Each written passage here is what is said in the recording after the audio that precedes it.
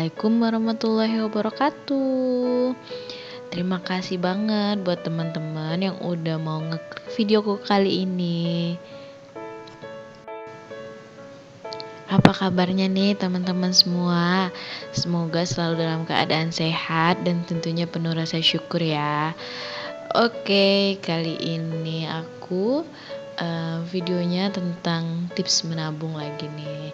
Sempat aku bikin tips um, untuk memulai investasi. Dan kali ini salah satu metode menabung yang juga baru aku ketahui dan baru coba aku terapkan di bulan November ini juga. Jadi uh, metode menabung ini namanya Hapsari ya. Aku tahunya Hapsari ini dari uh, ini ya apa namanya kelas kelas tentang ekonomi keluarga gitu ya uh, waktu itu pembahasan kelasnya itu tentang sandwich generation. Gimana teman-teman udah familiar belum sama sandwich generation? Jadi sandwich generation itu lagi populer banget ya, di mana sandwich generation itu uh, banyak terjadi di kaum milenial di mana sebagai milenial yang sedang aktif atau sedang produktif uh, dari segi finansial itu harus membagi kebutuhan keuangannya di mana membiayai orang tua atau membiayai uh, sanak keluarga uh, dan juga harus membiayai keluarganya sendiri. Jadi diibaratkan berlapis-lapis gitu ya, makanya disebutnya sandwich generation gitu. Di mana penghasilan itu nggak dipakai dia hanya di satu lapisan keluarga gitu. Nah, salah satu metode menabung yang sangat disarankan di zaman yang sedang sulit ini, di mana ada ancaman resesi di tahun 2023 itu adalah hapsari gimana yaitu hanya perlu uh, selembar per hari gitu ya. Uh, aku disclaimer dulu di sini. Mungkin kalau ada yang nggak setuju sama singkatannya atau gimana itu uh, ini bukan aku yang bikin ya singkatannya. Jadi ini udah umum gitu ya. Dan ini juga ada di salah satu buku tentang ekonomi gitu.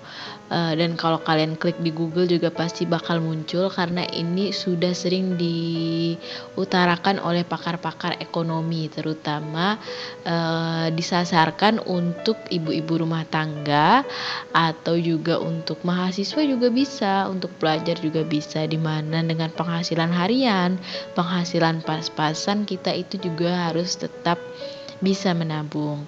Di sini ditekankan bukan nominalnya. Sekali lagi aku capek aku klaim di sini bukan nominalnya tetapi kebiasaannya. Ketika kita sudah membangun kebiasaan untuk menabung, maka eh, kita itu jadi biasa gitu ya. Yang namanya kebiasaan untuk eh, membangun biasanya kita gitu. Jadi zona nyamannya kita itu ntar bukan mengeluarkan atau foya-foya, tapi zona nyamannya kita itu menabung. Uh, dan di sini karena tidak mengikat nominalnya makanya jadi mudah gitu. Disesuaikan aja kondisi kita hari itu, berapa yang kita sisakan. Jadi di sini pun uh, walaupun selembar tapi uang koin itu juga bisa ya. Pokoknya di sini intinya membangun kebiasaan tiap hari kita menyisihkan, menabung gitu. Di uh, kelas yang aku ikutin itu di situ dijelasin ya. Dari Hapsari ini kita bisa mengumpulkan berbagai dana gitu. Uh, misalnya kita menabung hanya seribu per hari aja satu bulan itu rata-rata 30.000 dari 30.000 itu jika kita kumpulkan misalnya tiga bulan bisa kita kumpulkan atau tiga bulan lebih itu bisa kita berikan reksadana. Reksadana yang aman itu salah satunya adalah pasar uang. Mungkin lain kali aku juga akan bahas salah satu instrumen investasi yang aku pakai dan itu mudah banget buat ibu-ibu gitu ya. Insya Allah aman pasar uang Uh, dan selain di pasar uang, kalau nggak mau pasar uang di logam mulia juga itu bisa. Jadi kita udah termasuk menabung juga. Setel, selain itu juga kita bisa menabung uh, bebas gitu ya. Uh, hanya menabung aja sesuai misalnya nanti kepingin beli sesuatu atau juga menabung untuk dana darurat atau dana pensiun. Nah, salah satu hal yang juga penting dari kelas yang aku ikutin itu kita itu harus memikirkan dana pensiun agar tidak terjadi sandwich generation di masa uh, setelah kita di masa anak kita gitu ya. Agar tuanya kita nanti itu nggak menyulitkan gitu ya.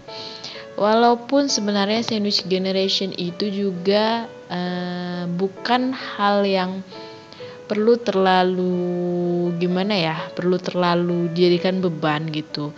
Karena sebenarnya kalau kita kembali ke ajaran agama kalau aku di sini di ajaran agama aku di Islam ketika kita memberi kepada orang tua kita itu tanpa pamrih insya Allah balasannya itu berkali-kali lipat gitu ya uh, tetapi nggak tahu ya kenapa uh, seiring berkembangnya zaman seiring berkembangnya waktu mulai muncul istilah-istilah yang seperti itu ya. E, mungkin kita di sini lebih menyikapinya harus lebih positif gitu ya. Andai kata kita pun berada di sandwich generation, kita harus tetap semangat sembari berdoa kepada Allah kepada pencipta kita. Semoga e, beban yang kita pikul itu Allah kuatkan pundak kita. Allah tambahkan rezeki kita supaya keluarga yang sedang kita bangun dan keluarga yang sudah membangun kita, keluarga yang sudah membesarkan kita itu bisa kita seimbangkan ya. Dan sedekah terbaik itulah sedekah pada keluarga sendiri. Nah ini aku bikin kotak-kotak untuk Hapsari ini saving challenge-nya ini. Eh, uh, 30 aja 30 grid. Uh, kalau teman-teman mau menyesuaikan bulan pakai di gambar manual juga boleh.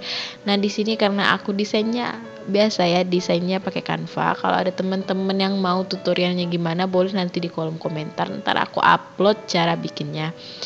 Uh, jadi di sini aku print aja gitu ya pakai kertas legal itu satu kertas dibagi tiga supaya mudah aja. Dan aku teratain aja 30 hari kalau ada bulan 31 hari atau gimana mungkin nanti di uh, hari ke 30 nya itu aku gabungin aja gitu ya ditambahin kalau ada nominalnya. Kalau nggak pun ya anggap bonus satu harinya. Uh, di sini aku udah mulai nih ya dan aku uploadnya ini kan 6 November dan aku bikinnya ini 5 November. Di sini kalian bisa lihat nominalnya. Aku bahkan ada dua hari yang aku pakai yang seribuan karena uang kecilnya itu nggak ada uang kecilnya itu tinggal yang receh-receh ya. Ya why not? Kita pegang sendiri kok uangnya receh juga nggak masalah. Jadi nggak perlu malu nggak perlu gengsi.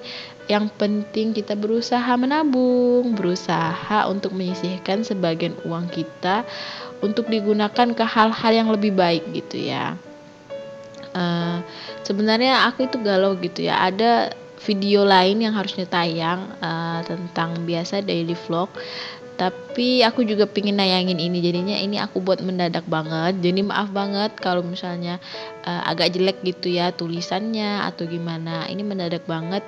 Aku pikir ya udah lebih baik aku up yang hapsari dulu. Uh, karena aku baru juga mulai sebelum terlanjur terlalu banyak gitu ya isinya isiannya. Dan teman-teman yang mungkin nonton video aku gimana nih pencahayaannya? Buat teman-teman yang udah lebih berpengalaman boleh nih sharing di kolom komentar sebaiknya pencahayaan itu dari bagian mana ya? Dari bagian depan belakang apa atas gitu ya? Oke segitu dulu videoku kali ini. Makasih banget yang udah nonton Dan jangan lupa di subscribe ya Karena itu mood booster banget bagi aku Dan semoga bantu channel aku buat berkembang. Bye bye